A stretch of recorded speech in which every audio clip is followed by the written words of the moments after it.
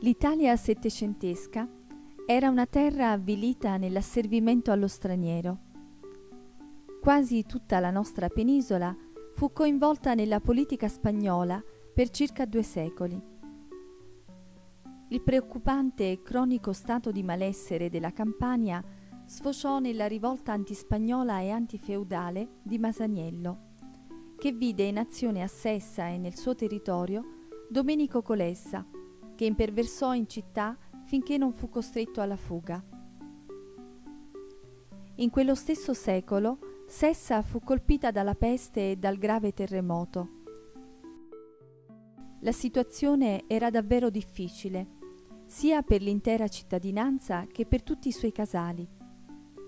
Tra questi ultimi vi era Lauro, che dista da Sessa all'incirca 6 chilometri con altitudine di circa 90 metri.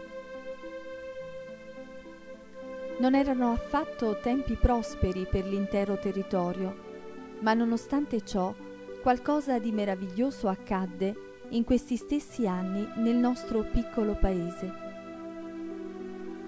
La tradizione popolare racconta che una pastorella sordomuta conduceva le capre al pascolo. Una sbrancò dalle altre e pascolando da sola presso un burrone scavato dal corso delle acque piovane vi cadde. Timida e premurosa la fanciulla lascia le sicure che aveva sott'occhio e si dà in cerca della capra smarrita. Guarda, spia nel burrone, scorge la capra. Ad un tratto il suo sguardo viene attirato da un bagliore, d'incantevoli forme, candida come neve, fulgida come sole. Ecco, la Vergine le appare e le dice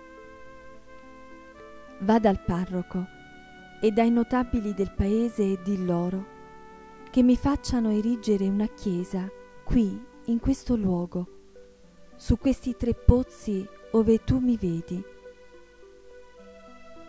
Ma la pastorella soggiunse, e chi mi crederà?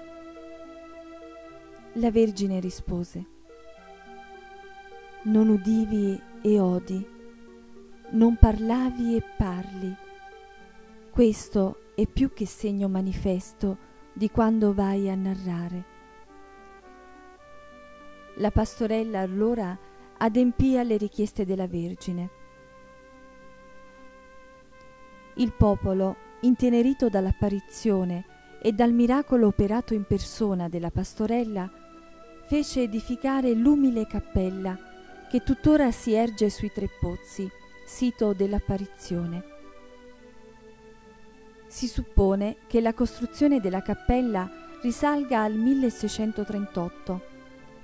Ciò viene testimoniato dall'esistenza della vecchia campana esposta all'interno del santuario, sulla quale vi è inciso Anno Domini 1638 de Tora Familia.